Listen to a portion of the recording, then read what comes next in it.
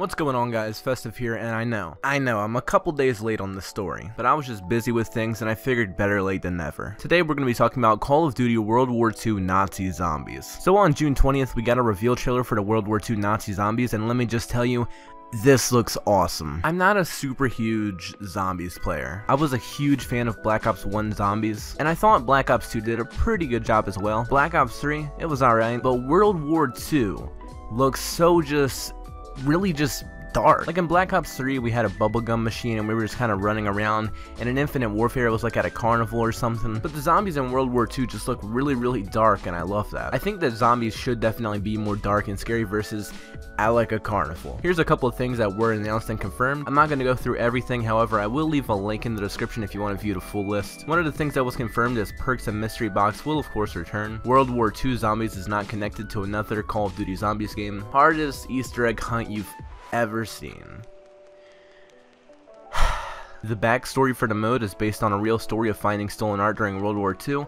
Men and women risked their lives to save works of art. And here's just kind of a little description of the zombies mission. Players will embark on a chilling, dark and mysterious journey through Mittelburg, a snowy Bavarian village in Germany, as they attempt to recover priceless works of art stolen by the Axis powers in World War II.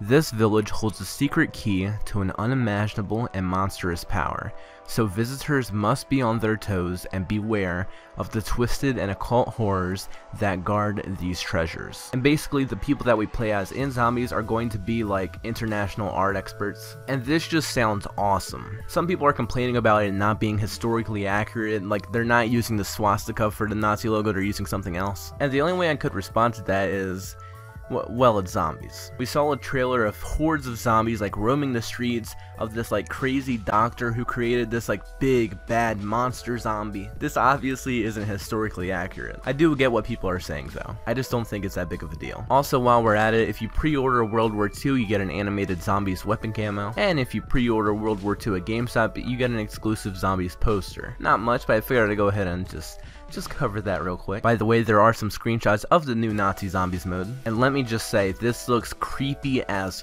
fuck. We have the first screenshot here, it's this zombie, I think this is the one that the doctor created.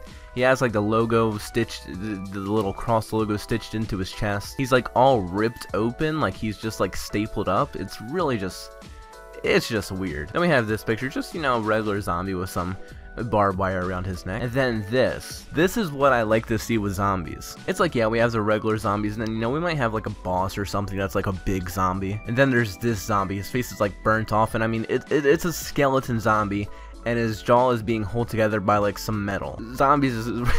zombies seems to be going in the right direction. And I really love Treyarch zombies, so I'm like, I'm, I'm a little bit iffy on Sledgehammer doing zombies. But I mean, I think it's fair to definitely give them a chance. They're, I mean, they're doing some creepy shit. Anyways, guys, my name is Festive, and if you enjoyed this video, be sure to drop a like, subscribe if you're new, and I will see you guys next time.